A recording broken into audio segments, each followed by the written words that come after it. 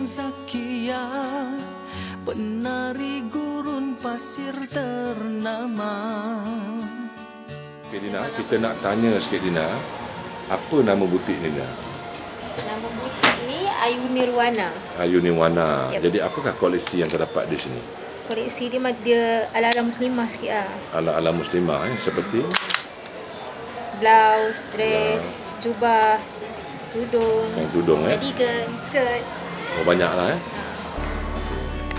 Semua yang melihat Takkan dapat melupakannya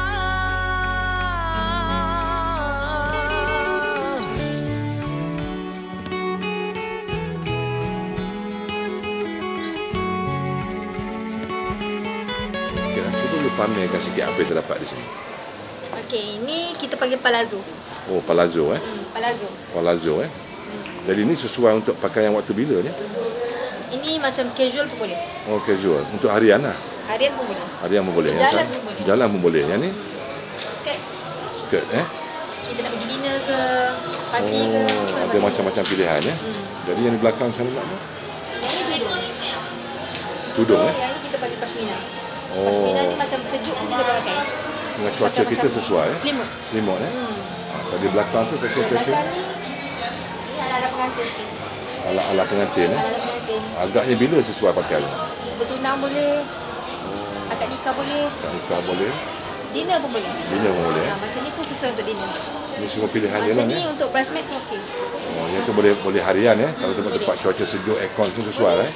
Yang belakang nampaknya ada celoring ada apa pula. Yang ini untuk tidur pun boleh. Oh, untuk baju tidur eh. Senam robik pun boleh eh. Ha, Ah, boleh. nampak bergaya eh. Jogging ke apa ke. Berjogging boleh eh.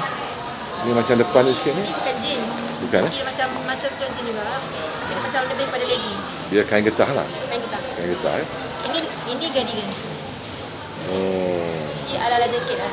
ala-ala jaket eh. Dia pakai cover kat luar. Untuk cuaca panas sesuai negara kita eh. Panas sejuk pun okey. Yang sini Ini singlet. singlet eh. Biasanya wanita pakai di bahagian dalam eh. Ha, boleh. Boleh di bahagian dalam. Ini nampak yang bercorak-corak warna Okey, lawa. yang ini dalam ni kita boleh pakai ni. Ini inner, kita panggil inner. Oh, inner ni dalam dalam nak tudung kan?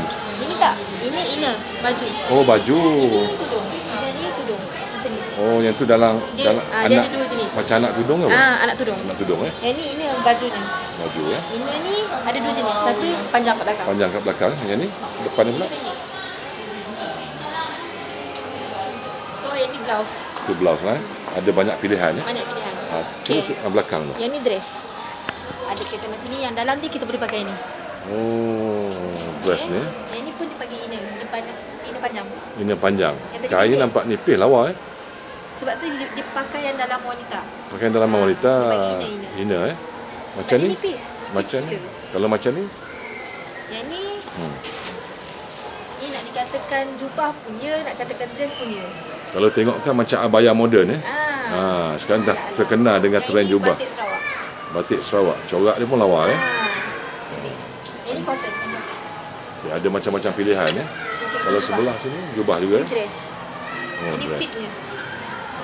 Ini memang trend moden eh. Hmm. Kalau depan-depan ni Ini sikit eh. breastfeeding. Kita panggil breastfeeding. Sebab Oh. depan. Sesuai untuk ibu menyusukan budak. Oh, yang mana yang so dah ada yang anak ni kecil. kita senang ambil smile. Zip kat sini.